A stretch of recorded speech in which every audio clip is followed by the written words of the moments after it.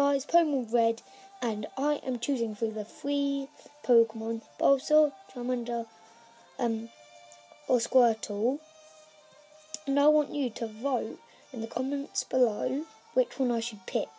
You have two days, the one with the most comments, I'll pick.